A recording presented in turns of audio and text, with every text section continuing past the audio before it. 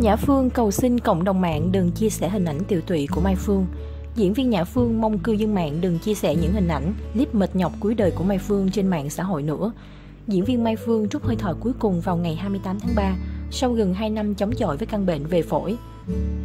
Những đồng nghiệp thân thiết, họ đều biết bệnh tình trở nặng và gần như kiệt sức ở những ngày cuối đời của cố diễn viên. Sự ra đi của nữ diễn viên nhận thiên thần áo trắng để lại niềm tiếc thương cho khán giả và đồng nghiệp, nhất là khi cô con gái La Vi chỉ mới 7 tuổi. Nhã Phương cầu xin mọi người đừng chia sẻ hình ảnh tiều tụy của Mai Phương. Sau khi lễ tang hoàn tất, trên mạng xã hội liên tục xuất hiện những hình ảnh mệt nhọc cuối đời của cố diễn viên Mai Phương. Chứng kiến sự việc đau buồn này, bà xã Trường Gia đã lên tiếng van xin mọi người đừng làm điều này nữa. Hãy để cố nghệ sĩ Mai Phương được ra đi thanh thản. Mọi người ơi, chị ấy đã mệt mỏi và đau khổ đủ rồi. Hãy cùng nhau giữ gìn những hình ảnh đẹp mà chị ấy đã dày công nhiều năm xây dựng trong lòng khán giả. Làm ơn đừng chia sẻ những điều đau lòng ấy. Những người yêu thương chị ấy sẽ càng xót xa tiếc nuối nhiều hơn. Cuộc sống sẽ tự có an bài của nó. Mình tin rằng những người tung ra những clip hình ảnh này có thể với mục đích tốt là muốn sự công bằng cho chị ấy, nhưng hãy làm ơn tôn trọng người đã mất, đừng phá tan đi những gì chị ấy muốn giữ lại trong lòng những khán giả mà chị ấy yêu thương. Xin làm ơn, Nhã Phương bày tỏ. Hình ảnh tươi tắn lúc sinh thời của nữ diễn viên Mai Phương do Nhã Phương chia sẻ.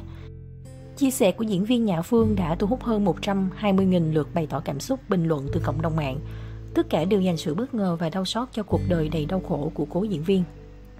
Hình ảnh Nhã Phương lặng lẽ đến tiễn Mai Phương lần cuối. Nhã Phương gục xuống bên ốc Thanh Vân để khóc khi đến viếng lễ tang của Mai Phương. Trương Quỳnh Anh, ốc Thanh Vân và đồng nghiệp đến tiễn đưa Mai Phương.